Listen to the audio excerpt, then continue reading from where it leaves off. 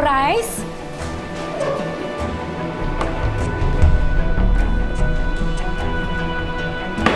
Criminal case number 2013-00154. People of the Philippines versus Patricio Villarreal. You, Patricio Villarreal, is hereby accused of parasite for the murder of your legal wife, April Soriano Villarreal.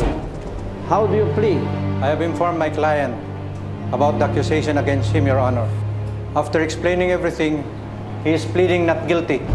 Sa pagbasa ng sakdal nung sampahan si Patricio ng kasong parricide, tinala ng abogado niya sa korte na siya ay walang sala dahil sa kahinaan ng kanyang pag-iisip o imbecility noong pinatay niya ang asawa.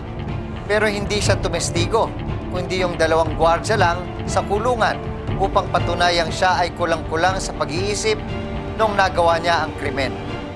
Parang wala na siya sa sarili niyang pag-iisip. Tahimik, nag-iisa. Minsan, kinakausap ang sarili. Mahal mo ako? Oo naman. Bakit mo ko iniwan? Ikaw kasi. May mga pagkakataon na tawa na siya ng tawa. Kahit sa gitna ng gabi, kumakanta siya. Minsan naman, para siyang isip bata. Ayoko kumain! Ayoko kumain! Ayaw nga maligo eh. Hindi magpalit ng damit. Ayaw niya rin eh. Tapos may pagkakataon na nagwawala siya. Ewan ko nga po dyan eh.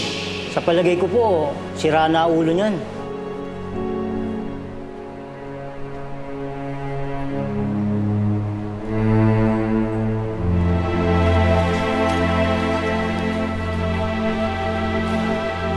Attorney. Sige, Hazel, mauna na ako. Ano sabi ni attorney? Pwede daw mapawalang sala si Kuya Patricio pag napatunayan wala siya sa tamang katinuan? Posible daw siya maabsuelto, lalo pag napatunayan na may kondisyon siya sa pag-iisip. Ibig sabihin, wala siyang kapasidad para matukoy kung ano ang tama at mali. Eh, hindi naman baliw yun eh. Nagbabaliw-baliw lang yung para makalusot sa kaso niya. Kailangan mong kusapin si attorney.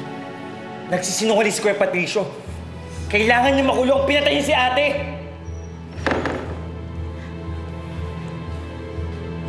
Napakasama mong tao, pinatay Ang bait na ate ko, ginagawa niya. Dapat yan ang igaganti mo sa kanya. Huwag ka magpanggap, hindi ka baliw! Hindi ka baliw, huwag mo kami loohin! Ha? Ano, ma'am? Tama na! Hazel, tama na, Hazel. Ako titigil hanggang magbulok ka sa kulungan! Magsasilos mo si Kuya Paolo, ha? Ito yung girlfriend niyo, oh!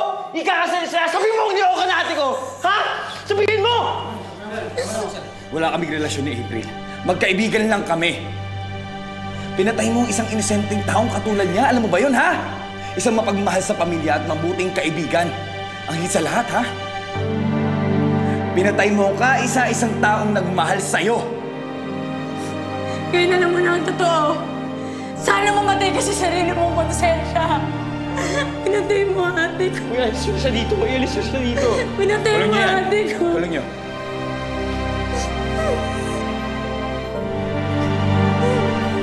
Pinagtibay pa rin ng Korte Suprema ang desisyon ng mababang hukuman. Ayon sa Korte Suprema, kinakailangang buo ang kawalan ng pag-unawa at ng malayang kalooban ang isang tao upang maituring na siya ay imbesil o wala sa tamang katinuan. Ang isang taong nakakaramdam ng matinding kirot ng pagsiselos hanggang mapatay niya ang asawa sa paniniwalang tinataguyod niya ang kanyang karangalan dahil sa pagdududa na pinagtataksilan siya nito ay maituturing na hindi imbisil o kulang-kulang sa pag-iisip. May kakayahan pa rin siyang unawain kung ano ang tama o mali. Attorney! Attorney! Tulungan mo po ako. Ayoko po sa kulungan. Hindi mo na pwedeng palabasin na baliw ka. Mahirap linlangin ang batas. Attorney! Attorney!